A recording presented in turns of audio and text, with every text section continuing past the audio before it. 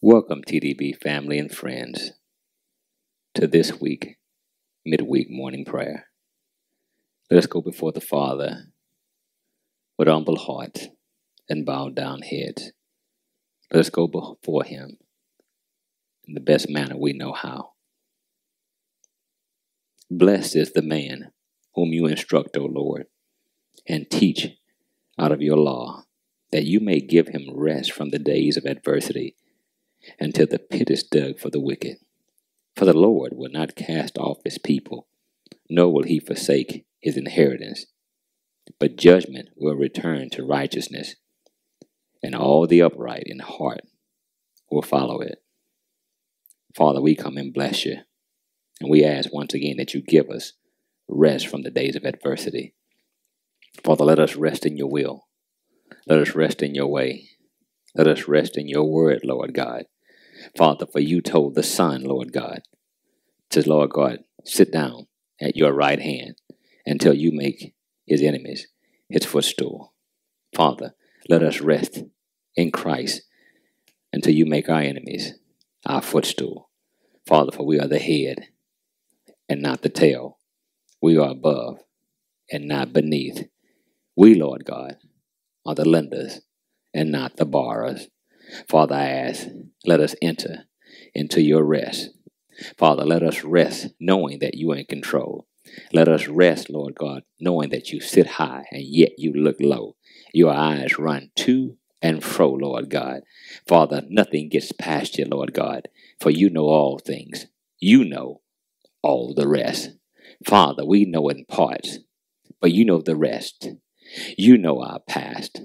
You know our present but you also know the rest. You know our future.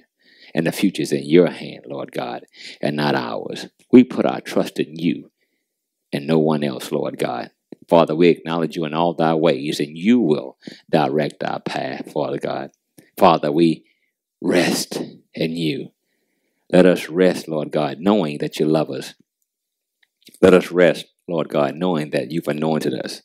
Let us rest, Lord God, knowing that you've given us all things that pertain to life and death, all things that pertain to godliness, Lord God. Father, you've given us everything we need. For you told Abraham, I've already given you this. You've given us everything, Lord God. Father, it was your word that said, Lord God, let thy kingdom come, thy will be done on earth as it is in heaven. It's already done. Let us rest, Lord God. It already is. Let us rest, Lord God. I'm not trying to toil and, and struggle in the flesh, but be led by the Spirit. For those who are led by the Spirit are truly sons of God. Father, your word, Lord God, continue to lead and guide us. I pray that your spirit go forth, Lord God. Make the crooked road straight and the rough places smooth, Lord God. Break the bars of iron that tried to hinder us from opportunity righteousness, from justice, from healing, from deliverance. Father, I ask you, Lord God, let us take rest. Lord God, also, Lord God, that you care about the rest. Not just the ones who are saved, but the ones who are not saved, Lord God, the ones who don't know you. You care about the rest, Lord God.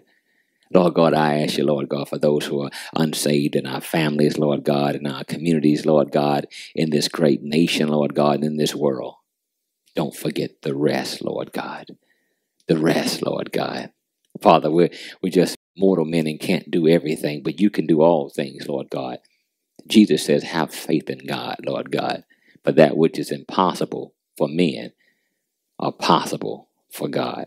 Don't forget about the rest, Lord God as you fed the 5,000 men, plus women and children, Lord God.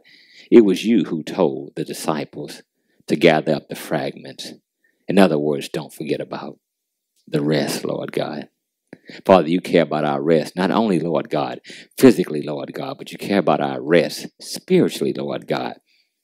You care about our souls, Lord God, being made whole, being complete, and lacking nothing, Lord God. Not only do you care about us physically and spiritually, Lord God, you care about us financially, Lord God. The rest. Father God, you ask, Lord God, that when we get increased to bring forth the tithe, 10% to you. You telling us don't forget about the rest. But you said if we bring the rest, Lord God, you will give us rest. Why? Because you said you open up the windows of heaven and pour us out a blessing. We won't have room enough to receive, Lord God. And not only that, you will rebuke the devourer for our sake. Oh my God, thank you, Father. That tells us you're going to give us more rest, Lord God. We can rest, Lord God, knowing, Lord God, that you're going to send the rain. We can rest, Lord God, knowing you're going to send the increase. We can rest, Lord God, knowing you're going to send the favor. We can rest, Lord God, knowing, Lord God, you shall keep the enemy at bay, Lord God, that when he tries to come in like a flood, you will lift up a standard, Lord God. And we can rest as Noah and his family did in the ark. No matter how high the waves went, no matter how high the waters went, Lord God, they rested, Lord God, in your word, and you carried them, Lord God, to a higher place, Lord God. That when it was all said and done, and the water, Lord God, receded, Lord God, they rested on a mountain, a place they didn't crawl, Lord God, a place they didn't walk to, Lord God, a place, Lord God, they didn't have to try to toil up on their own, Lord God, and get over, Lord God. But you carried them, Lord God, to the rest. You head them, Lord God, to the rest of the places that you prepared for them. And rest is what you prepared for us all, Lord God. I thank you, Lord God, for the rest. I pray those who are listening right now come into agreement with me and have rest. Not just sleep, but rest, knowing that they're, Lord God, abundantly supplied. All their needs are met according to the riches in Christ Jesus. So, Father, we thank you, Lord God. We bless you. We love you. We give you glory, Lord God, and honor, for it all belongs to you. In Jesus' name, amen. I pray that all heard this come in agreement and take good pleasure and rest.